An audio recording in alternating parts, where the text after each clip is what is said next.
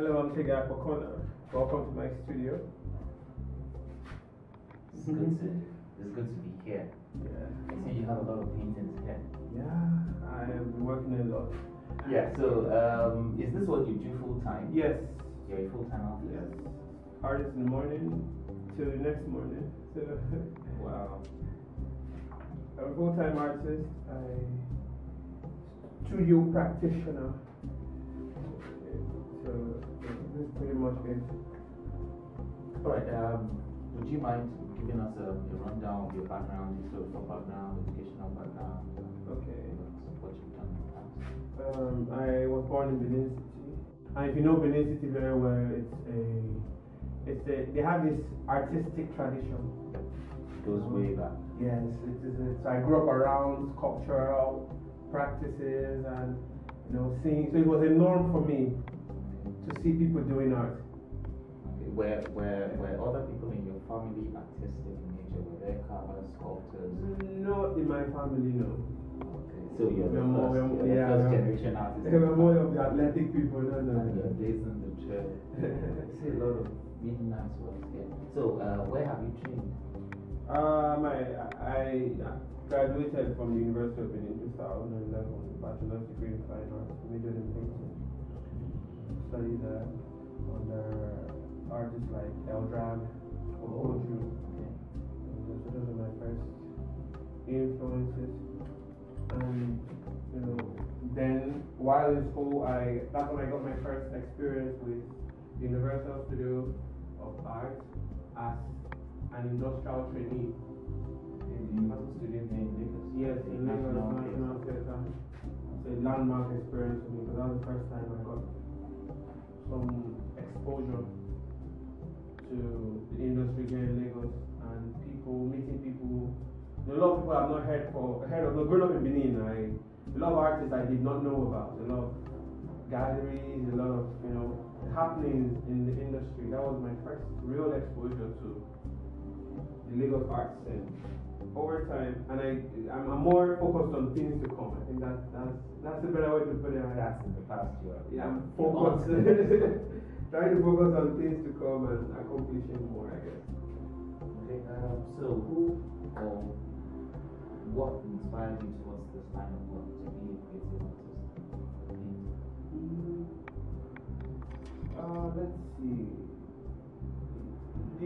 I as far as art goes, my inspiration to become an artist has well, it's always been something I how I say the art practice itself, the art talent, you know, the the the, the little things you do as a, as a child, growing up, the scribbling on walls, the drawing on paper, the the consistent, impulsive drawing. Then it wasn't practice; it was just something I was doing. Okay, um, so what I see here is um, what resembles a palette.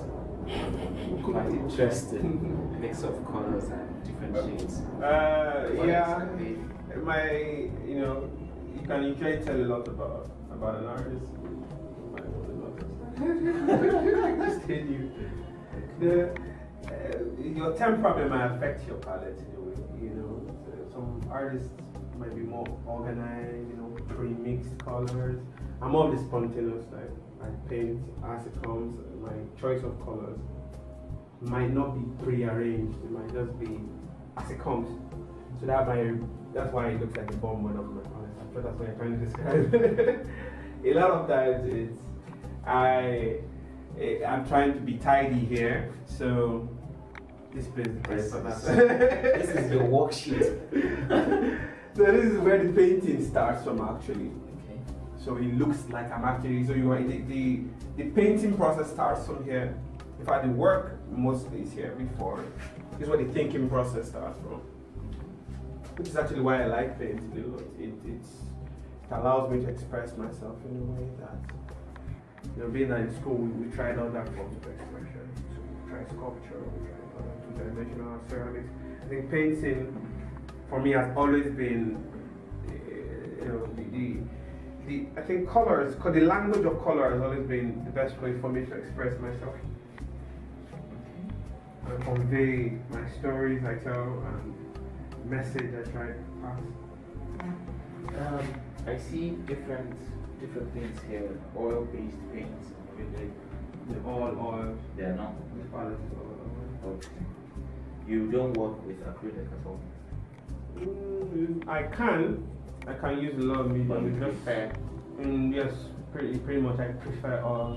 Why? I the feel. I prefer the quality. I like. Um, it's a constant method that material is just. It's really goes well with my thinking process.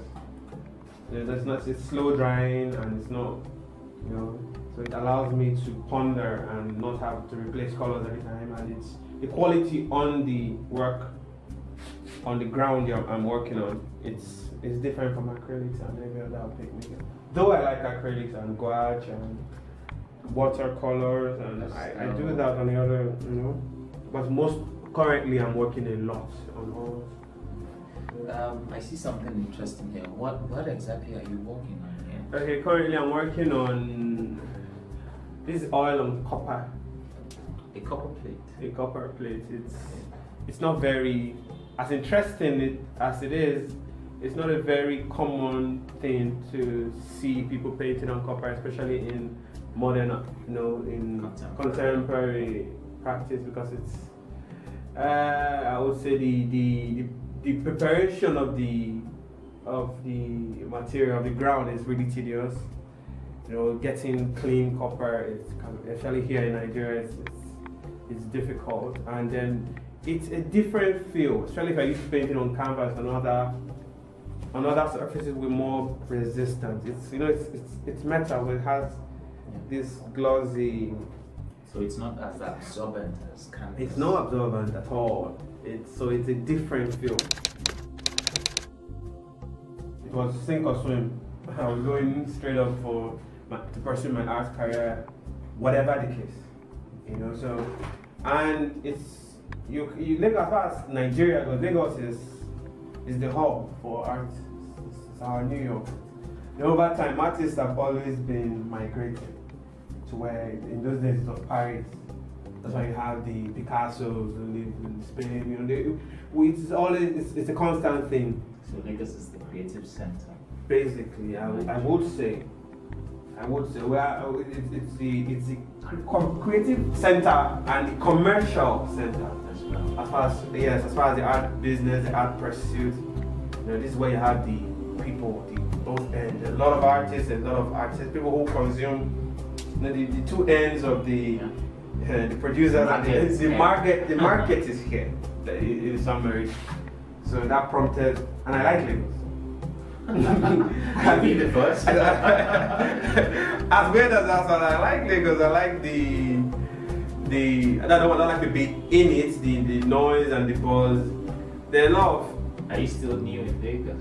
Yeah, eh, no, I won't say so. I can't. By speaking of know, but there's a lot of inspiration to be drawn from the the buzz, the haste, you know, the commercial activities, the people, all sorts of people. It's going out alone a single day, just taking a stroll down the road. Kind of. But life here is, I think it's it's uh, you know, artists want to find inspiration.